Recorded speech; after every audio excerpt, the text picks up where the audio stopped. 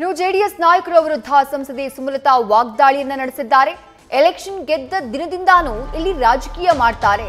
ನಮ್ಮ ದೇಶಕ್ಕೆ ಸ್ವಾತಂತ್ರ್ಯ ಬಂದು ಎಪ್ಪತ್ತೈದು ವರ್ಷಗಳೇ ಆಗಿದೆ. ಮಂಡ್ಯ ಜಿಲ್ಲೆಯಲ್ಲೂ ನಮಗೂ ಸ್ವಾತಂತ್ರ್ಯ ಬರಬೇಕಾಗಿದೆ. ಮಂಡ್ಯದಲ್ಲಿ ಬದಲಾವಣೆ ಆಗಬೇಕಾಗಿದೆ ಅಂತ ಹೇಳಿ ಸುಮಲತಾ ಹೇಳಿಕೆಯನ್ನ ಕೊಟ್ಟಿದ್ದಾರೆ. ಇವತ್ತು ನಡೆದಂತಹ ಕಾರ್ಯಕ್ರಮದಲ್ಲಿ ಸಂಸದೆ ಸುಮಲತಾ ಅಂಬರೀಶ್ ಕೊಟ್ಟಂತಹ ಹೇಳಿಕೆ ಇದು. ಶ್ರೀರಂಗಪಟ್ಟಣ ಕಾರ್ಯಕ್ರಮದಲ್ಲಿ ಮಾತನಾಡಿದಂತಹ ಸುಮಲತಾ, ಜೆಡಿಎಸ್ ಶಾಸಕರ ವಿರುದ್ಧ ಆಕ್ರೋಶವನ್ನ ವ್ಯಕ್ತಪಡಿಸಿದ್ದಾರೆ.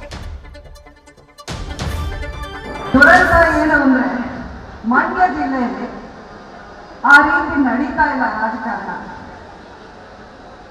ಇನ್ನೇನು ಚುನಾವಣೆಯಿಂದ ಗೆದ್ದು ಬಂದ್ವಿ ನೆಕ್ಸ್ಟ್ ಡೇ ಇಂದಾನೆ ಮತ್ತೆ ರಾಜಕಾರಣನೇ ಮಾತ್ರ ಮುಂದುವರಿಸಿಕೊಂಡು ಹೋಗ್ತಾ ಇರುವಂತ ಒಂದು ವಾತಾವರಣ ಇಲ್ಲಿ ನಿರ್ಮಾಣವಾಗಿದೆ. ಇಂಥ ಸಂದರ್ಭದಲ್ಲಿ ನಾನು ನಿಮ್ಮಲ್ಲಿ ಒಂದು ವಿಷಯ ಹೇಳೋಕೆ ಇಷ್ಟಪಡ್ತೀನಿ.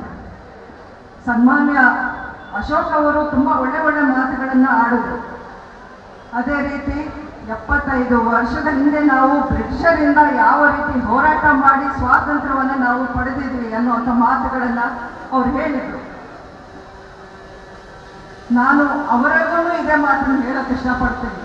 ನಮ್ಮ ಮಂಡ್ಯ ಜಿಲ್ಲೆಗೆ ಇವತ್ತಿನ ದಿನ ನಮಗೂ ಒಂದು ಸ್ವಾತಂತ್ರ್ಯ ಬರಬೇಕಾಗಿದೆ. ನಮಗೂ ಒಂದು ಬದಲಾವಣೆ ಬರಬೇಕಾಗಿದೆ. ನ್ಯೂಸ್ ಫಸ್ಟ್ ಪ್ರತಿಕ್ಷಣ ನಿಮ್ಮೊಂದಿಗೆ.